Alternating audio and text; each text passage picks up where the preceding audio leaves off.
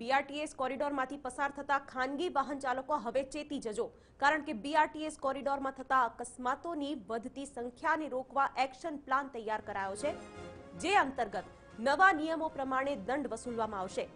એક નિયમ પ્રમાણે જો હવે બીઆરટીએસ પણ બીઆરટીએસ કોરિડોરમાં પ્રવેશશે, તો તેને પણ દંડ ફટકારવામાં આવશે અને આ દંડ મહાનગરપાલિકા પાસેથી વસૂલવામાં આવશે. માત્ર આટલું જ નહીં પણ આ ઉપરાંત અનેક એવા નિયમો બનાવવામાં આવ્યા છે, જેનો ભંગ કરવામાં આવશે તો કડકમાં કડક કાર્યવાહી થશે તેવા નિયમો બનાવવામાં આવી રહ્યા છે.